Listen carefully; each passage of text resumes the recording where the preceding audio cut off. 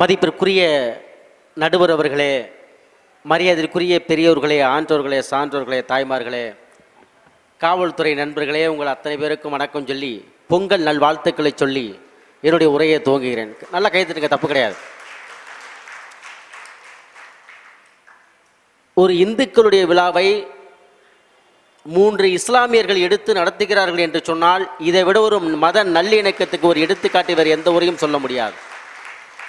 சமத்துவ பொங்கல்னா நம்முடைய பாப்பானாசில் தான் பார்க்கணும்.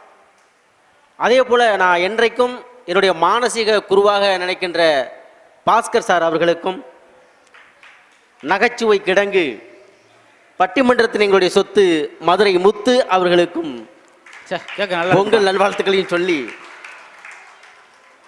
நடுவர்களே ஒரு அற்புதமான தலைப்பு. எல்லாரும் அப்படித்தான் சொல்லுவோம். அந்த தலைப்பில் அலசி ஆராய்ஞ்சு அடிப்பிடிச்சு பார்த்து அதில் அடிப்பிடிச்சது மாதிரிக்கே என்னை ஒருத்தனை பேச விட்டுருக்கீங்க. இன்னைக்கு தம்பி அருண் வந்து பேசிட்டு போனார். இன்னைக்கு டிவியும் சரி செல்போனும் சரி சினிமாவும் சரி எதுவுமே சரியில்லை.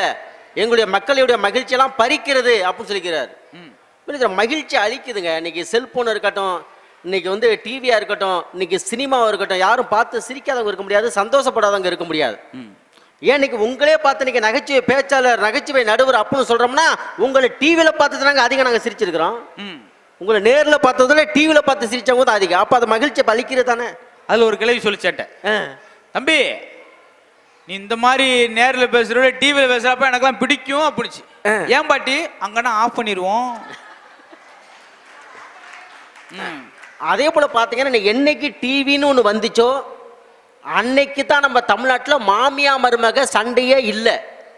கை தட்டுங்க. ஏன்னா ரெண்டு பேரும் ஒண்ணா உட்காந்து பாக்குது சீரியல் முடிஞ்சோன்னு இது சண்டை ஆரம்பிச்சிருது அப்படியே உன்னைய பத்தி தெரியாது அப்படின்னு. ஊரு சண்டை உரமுறை சண்டை இதெல்லாம் எப்போ இல்லை பெண்களுக்கு இல்லைன்னா என்னைக்கு டிவி சீரியல் வந்துச்சு அன்னையிலேருந்து மாமியா மருமக சண்டை இல்லாமல் போச்சுங்க.